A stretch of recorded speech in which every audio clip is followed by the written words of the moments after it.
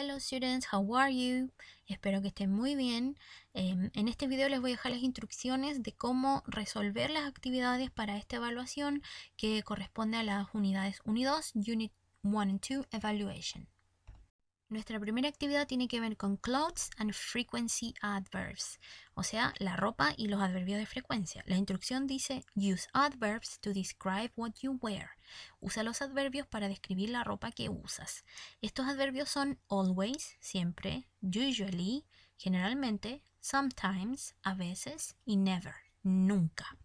Hay un ejemplo para que ustedes sepan cómo hay que escribir estas oraciones. Bien, en este ejemplo podemos leer la oración I always wear a jacket y además está acompañado de una imagen de una persona que está usando una chaqueta. Por lo tanto, lo que yo les pido a ustedes es esto.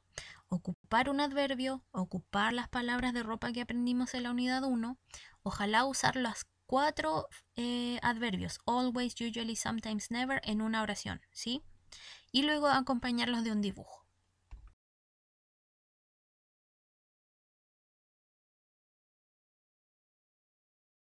Y en nuestra segunda actividad vamos a trabajar con los comparatives, o sea, vamos a comparar cosas. La instrucción dice, look at the pictures and write sentences to compare. Les coloqué imágenes, dos pares de imágenes en cada letra, para que ustedes vayan comparando y escribiendo oraciones. Y les puse un ejemplo para que ustedes sepan cómo hacerlo. En el ejemplo tenemos Tess, que está con una copita súper chica, no tiene mucha sed, y Rose, que está tomando bebida, pero como loca porque tiene mucha sed. Y la oración es Rose is thirstier than Tess, porque claramente vemos que Rose tiene mucha más sed que Tess. Así que la oración es Rose is thirstier than Tess. Con letter A tenemos dos personajes, Pauli, Pauli is dirty, and Rob, Rob is clean. Ahí ustedes pueden crear una oración con cualquiera de los dos aspectos. Ustedes deciden ¿sí? si quieren hablar de que Pauli está sucio o si de que Rob es más limpio. Ustedes deciden, las dos formas está bien, pero me escriben una sola oración, ¿sí?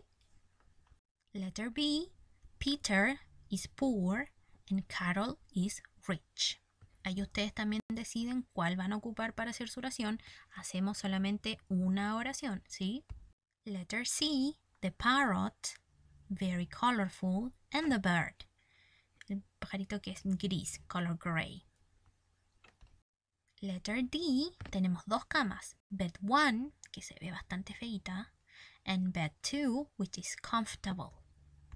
Y finalmente tenemos a Pam, who is very kind and Andy, who is mean, ¿sí?